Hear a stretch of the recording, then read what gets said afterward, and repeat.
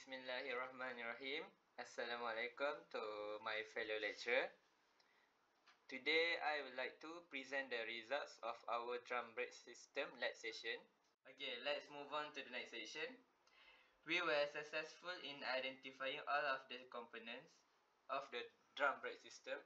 There are 20 components in total brake drum, adjuster screw spring, return spring, adjuster lever, adjuster screw, show spring, washer, hold down spring, return spring, brake lining, operating lever, spring washer, spring returner, park brake, lever, brake shoe, hold down pin, brake pin, brake cable, wheel hub and backing plate. Following that, we were able to inspect the brake components as we can see in the table 2 firstly brake drum. The condition is a bit rusty no crack and damage inside and outer surface.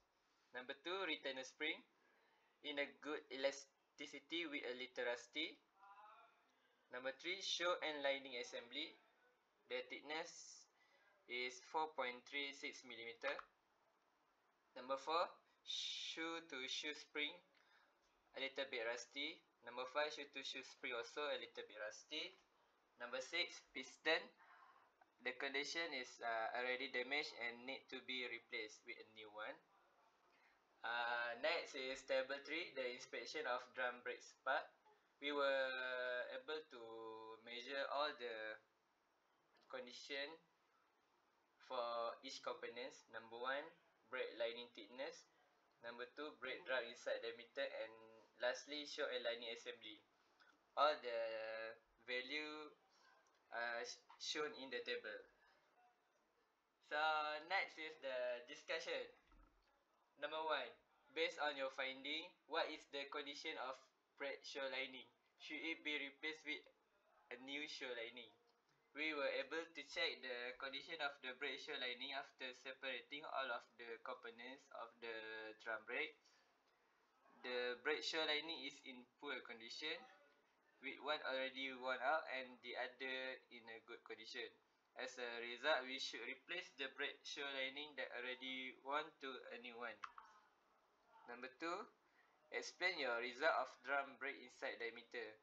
We noticed that the value results were slightly different after measuring the diameter of the drum brake by dividing it into four sides. This is because the drum brake has been used for a long time and may have become worn. One of the factors that influenced it was the thermal expansion of the drum during hard braking. The inner surface of the drum brake is most affected by thermal expansion because it houses the rubbing surface. The total average we got is 167.23 millimeter which is less than 250 millimeter standard inner diameter. So we can conclude that the drum brake does not need to be replaced. Next, if deep crack found on the drum, can it be repaired? Explain your answer. Cracks running through the drum wall are a major reason for concern. Deeper cracks can be caused by a number of factors, including excessive heating and cooling of the drum during use. Using the parking brake when the drums are excessively hot or mishandling of the drum. Heat cracks and sources are signs of an overloaded or thermally stressed brake. This is frequently caused by abrupt braking from high speeds, which happens most frequently when driving inappropriately and aggressively. The brake contact surface rapidly heats up while the outer area of the brake drum remains relatively cool. These temperature differences cause a plastic deformation of the inner surface, resulting in visible cracks that appear when the material cools. In a conclusion, the cracked, drum, the cracked drum cannot be repaired and must be replaced with a new one immediately. Number four, what is the advantage of drum brake compared to disc brake? Drum brakes can provide more braking force than disc brake of equal diameter. Drum brakes last longer than disc brake because they have a larger friction contact area. Drum brakes are less expensive to produce than disc brakes. Real drum brakes produce less heat. drum brakes have a self-energizing effect built-in, requiring less input force. Lastly, because of their higher corrosion resistant drums require less maintenance. Lastly is the summary. Finally, we were able to carry out an experiment for inspecting and diagnosing an automotive drum braking system.